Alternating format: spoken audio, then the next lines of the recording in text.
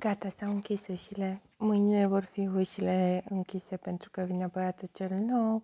Vineri avem gala la fel, avem uși închise.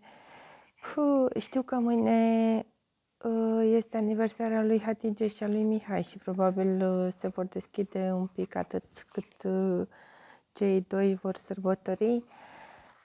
Ne vedem tocmai sâmbătă la petrecere în aceeași formulă. M-am relaxat foarte tare cu ei în seara aceasta, deși a durat puțin, dar chiar uh, am râs cu Vlad foarte mult. M-am spăimântat cu Tani și cu teribilismul lui. Uh, chiar a fost o seară frumoasă. Și mi-aș dori să avem cât mai multe serii de genul.